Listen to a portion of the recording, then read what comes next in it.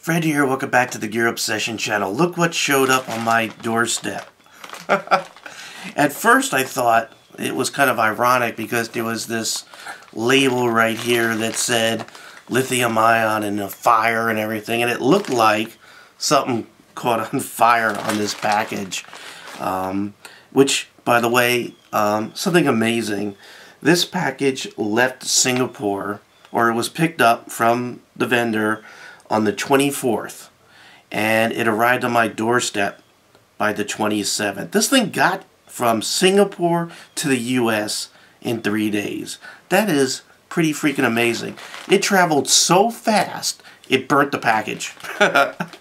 but after closer examination, and I'm videotaping this because I want to document how I got this to the vendor, but um, it's not a burn because my first thought was something burnt inside and burnt the packaging but actually what it looks like is that some machinery um, basically ripped this maybe it got caught in a belt or something and it sort of ripped it up and crushed the package.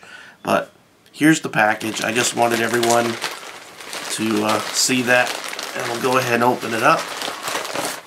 And here's the package. How it came so hopefully they pack this up really good. I mean, I see a lot of plastic there. If everything's okay, I'll let you know who the vendor was and how fast they uh, basically get your package package to you. And I don't blame this on the vendor because this is clearly the fault of DHL.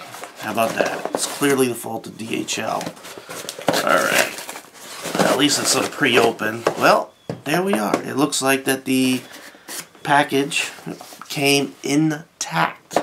So great job packaging. And by the way, this came from GearBest. That's who sent it. So if you order something from GearBest, um, basically, let me see, we talked about this being shipped on the 23rd, I think. We had an email that and then they and they said they were going to send this out and it basically got picked up uh, the shipment got picked up in Singapore on the 24th and it arrived on my doorstep on the 27th. That is freaking amazing.